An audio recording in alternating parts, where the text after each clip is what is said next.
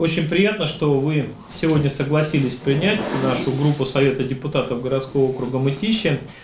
Э, а мы можем сегодня поздравить вас с вашим, наверное, это будет правильным э, таким профессиональным все-таки праздник. За праздничным столом теплое общение. На повестке дня успехи, победы и, конечно, планы – Лосиный остров – это настоящий музей природы, в котором можно встретить диких животных и все ландшафтные зоны средней полосы России. Например, чтобы побывать в тайге, не обязательно ехать за тысячи километров в Сибирь. Мытищенцам и всем желающим достаточно пройти по хвойным лесам родного парка. Создание пешеходных троп, создание вольерной зоны, музея, лектория – возможности отдохнуть, детской площадке, пообщаться не просто, да, а семейный такой отдых.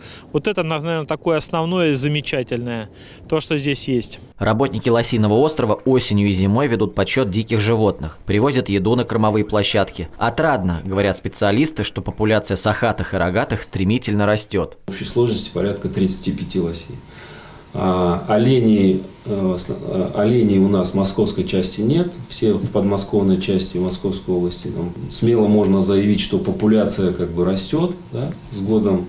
На территории национального парка мирно уживаются 43 вида млекопитающих и 160 видов птиц, многие из которых занесены в Красную книгу Москвы и России. Сотрудники трудятся каждую минуту. Их профессионализм ценится высоко не только экологами. Заместитель директора по, по экологическому просвещению Екатерина Александровна Еремина.